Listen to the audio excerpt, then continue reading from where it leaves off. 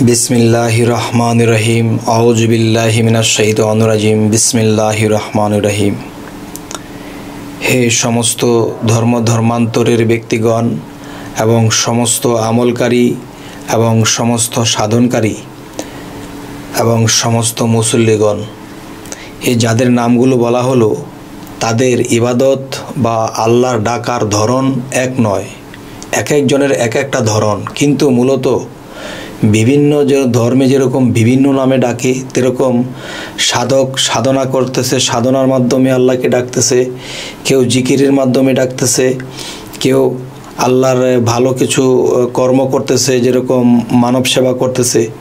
তো আল্লাহ তো মানব সেবাও খুশি, জিকিরেও খুশি।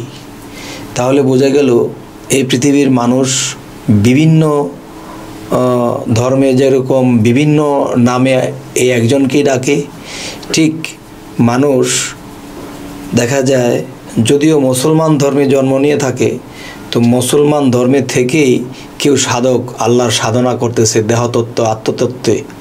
আবার কেউ শরীয়তের নামাজ রোজা করতেছে, কেউ জিকির করতেছে, কেউ মানব সেবা করতেছে। কিন্তু দেখা গেছে একটাও ফেলিয়ে দেওয়ার নয়।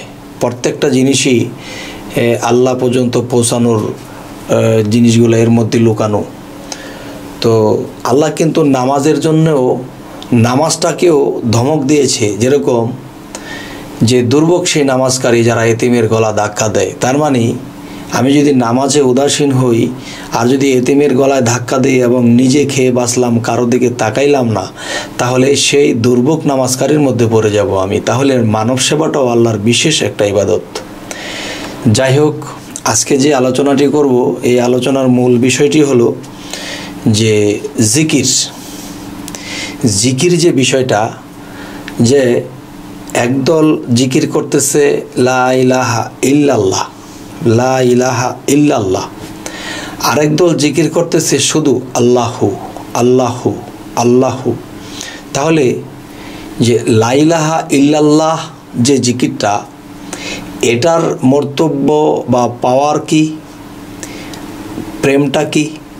এবং আল্লাহু যে জিকিরটা, এটার মধ্যে কি মর্তব্য বা কি পাওয়ার আল্লাহ রাখলেন বা প্রেমের গতিটা কতটুকু রাখলেন? তো আমি যতটুকু বুঝি, আমি ততটুকু বলব। যেমন, মানুষ যদি কালেমা পাঠ না করে, তাহলে সে মুসলমান হইতে পারে না। তবে আমি বলব যে লাইলাহা ইল্লাল্লাহ মোহাম্মদ রাসুল্লাহ এতটুকু কথা যদি কোনো ব্যক্তি না পড়ে, না বিশ্বাস করে, তাহলে তিনি কখনোই মুসলমান না। তাহলে আমি বুঝতেছি যে লাইলাহা ইল্লাল্লাহ, যে নাই কোনো মাবুদ আল্লাহ ছাড়া। হজরত মোহাম্মদ সাল্লাহ আলহি আসাল্লাম তিনি আল্লাহর প্রেরিত বান্দা ও রাসুল। তাহলে আমি বলতে চাইতেছি, তাহলে ইমান আনতে গিয়ে বা কালেমা জীবনের প্রথম পড়তে গিয়ে আমরা কি বলতেছি? যে লা ইলাহা ইল্লাল্লাহু মোহাম্মদ রাসুল্লাহ তার মানে যে প্রথম স্বীকৃতি দেওয়া হলো বা প্রথম আমার এই কথার উপরে ইমান আনতে হলো।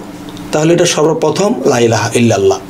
তাহলে দেখা গেছে যে জীবনের ষাট বৎসর, সত্তর বৎসরও যদি কোনো মানুষের হয়ে যায়, তখনও দেখা যায় লাইলাহা ইল্লাল্লাহ লাইলাহা ইল্লাল্লাহ জিকিরটা করে।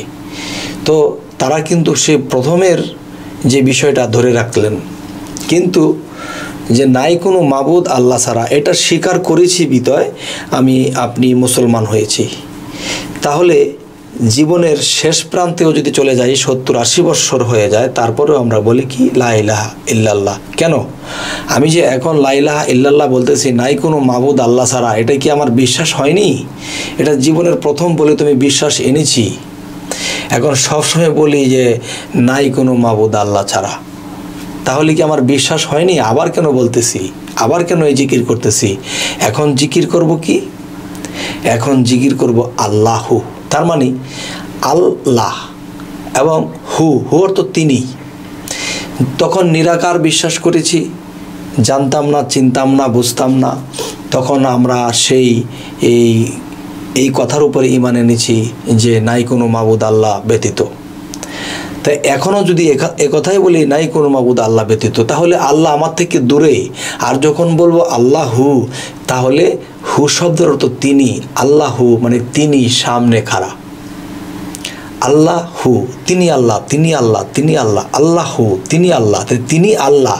সামনে যদি খাড়া থাকে, তাহলে আমরা এর পাশাপাশি যদি সাধনার জগতে যাই মুর্শিদ ধরিয়া, তখন সেই সাধনা যখন করব, তখন আমাদের ভিতরে যখন কাল পরিষ্কার হবে, তখন আমাদের যখন দিব্যচক্ষুটা খুলবে, তখন আমরা দেখতে পাবো যে আমার সামনে আমার আল্লাহ দাঁড়িয়ে আছে। আমি আল্লাহকে দেখে দেখে বলতেছি, আল্লাহ হু তিনি আল্লাহ তিনি আল্লাহ, তুমি আল্লাহ। এবং আল্লাহর সেই কুদরতি চরণে আমরা সেজদায় রত হইতেছি। আবার বলতেছি, আল্লাহু, আল্লাহ। তার মানে তিনি আল্লাহ সামনে খাড়া। তাহলে লাইলাহা ইল্লাল্লাহ, নাই কোনো মাবুদ আল্লাহ ছাড়া মাত্র স্বীকার করলাম। এবং যখন আমরা সাধনা করব নিজের কাল্পকে পরিষ্কার করব, তখন দিব্য চক্ষুটা যখন খুলবে, তখন দেখব আল্লাহ, তার মানে সামনে খাড়া আল্লাহ তিনি আল্লাহ তিনি। যাই হোক, আমার এই কথাগুলো হয়তো অনেকের ভালো লাগতে পারে, অনেকের ভালো লাগতে পারে না। তো আমরা দেখা যায় জীবনের প্রথম সবক কী কালেমা? এই কালেমা প্রথম সবকটা আমরা জীবনের শেষ পর্যন্ত বলে যাই। খালি বলে যাইতেছি কি, নাই কোনো মাবুদ আল্লাহ ছাড়া। মাত্র বিশ্বাস করলাম যে আল্লাহ ছাড়া কোনো মাবুদ নাই। কিন্তু আল্লাহ যে কিটাই সবচেয়ে বেশি পাওয়ারশীল এবং এটার মধ্যে অনেক প্রেম। একটা সে না দেখিয়া প্রেম, এটা হলো লাইলাহা ইল্লাল্লাহ। আর একটা হচ্ছে দেখিয়া প্রেম, এটা হচ্ছে দেখিয়া। লাইলাহা ইল্লাল্লাহ, এটা না দেখিয়া বিশ্বাস করা, না দেখিয়া জিকির করা। আর আল্লাহু, হু শব্দের তিনি, আল্লাহ, তিনি সামনে খাড়া। তাহলে এখানে দেখার বিষয় আছে। তাহলে ওটা হলো নার্সারি ক্লাসের, যে ওখানে আমি ইমান এনেছিলাম এই কথা বলে, কিন্তু আজ আল্লাহু, তিনি সামনে খাড়া। যাক, আমার কথা হলো, এই কথাগুলো অনেকের ভালো লাগতে পারে, অনেকের ভালো লাগতে পারে না। তবে যদি কারও মাথায় ধরে যে না, কথাগুলো ঠিক, তাহলে আমি আলহামদুলিল্লাহ। আর যদি কারও মাথায় ধরে যে কথাগুলো ঠিক না, তাহলে আমাকে কমেন্টে জানাবেন। কারণ এই পৃথিবীতে মহাজ্ঞানীরা এসেছিল, আবার আরও কত মহাজ্ঞানীরা আসবে, তাদের তুলনায় আমি আর কি, আমার ওরকম কোনো জ্ঞান কই? তবে যতটুকু বুঝি, আমি বলার চেষ্টা করি। তো কেউ যদি বলবেন যে হ্যাঁ এই কথাটা ঠিক, আলহামদুলিল্লাহ, আর সমস্যা মনে করলে আমাকে কমেন্টে জানাবেন। তবে আমি মনে করব, যারা ভদ্র লোক তারা কখনো অভদ্র ভাষা লেখে না। আর যারা ভদ্র, তারা ভদ্র ভাষায় সুন্দর করে লিখবে। আর সেটা আমি যখন দেখব, তখন দেখব যে হ্যাঁ আমার এখানে একটু কথাটা একটু সমস্যা আছে, তাহলে আমি ঠিক করে নেব। কারণ ঠিক করে নিতে আমার কোনো লজ্জা নেই। কেন লজ্জা নেই? যেমন একটি হাদিসে আসছে যে, এক মমিন আরেক মমিনের আয়না স্বরূপ এক মমিনের আয়না স্বরূপ যদি আরেকজন মমিন হয়, তাহলে এখানে কি বোঝানো হলো?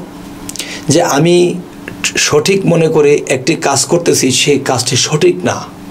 কিন্তু আমি ভাবতেছি সঠিক। তখন একজন মমিন ব্যক্তি আমাকে বলল যে, ভাই, কাজটা এভাবে করলে ভুল হবে, আপনি ওইভাবে করেন। তখন যখন আমার মাথায় ব্রেনটা ক্যাচ করল, তখন আমি তাকে বললাম যে, ভাই, আপনি তো এ কথাটা বলাতে আমার উপকার হইল না হয়তো আমি তো ভুল করতেছিলাম। তাহলে বোঝা গেল যে, তিনি আমার আয়না হলেন। এবং তার জ্ঞানের আয়নার মধ্যে আমার ভুলটা ধরা পড়ছে। যখন আমি মমিন, তখন তাকে বললাম যে, ভাই, আপনি আমার উপকার করলেন। আর যদি কমিন ব্যক্তি হয়, তিনি বলবে যে, হে মিয়া, তুমি কি আমার থেকে বেশি বোঝো? তখন বোঝা গেল, সে মমিন না, সে কমিন। আর সে তার আয়না হই, হবে না, কারণ তাকে মানবে না। তো আমার কথা হলো, এক মমিন আরেক মমিনের যদি আয়না স্বরূপ হয়, তাহলে সমস্ত ভিউয়ার্স যারা এই কথাগুলো শুনবে, তারা যদি আমাকে বলে যে আপনার কথাগুলো ঠিক, তাহলে আমি আলহামদুলিল্লাহ। আর যদি বলে যে না এ কথাটা এখানে তাহলে আমারও তো বোঝার আছে, শিকার আছে। শেখার কি শেষ আছে? তো আজ এই কথাগুলো বলে রাখছি। সকলেই ভালো থাকবেন। আল্লাহ হাফিজ।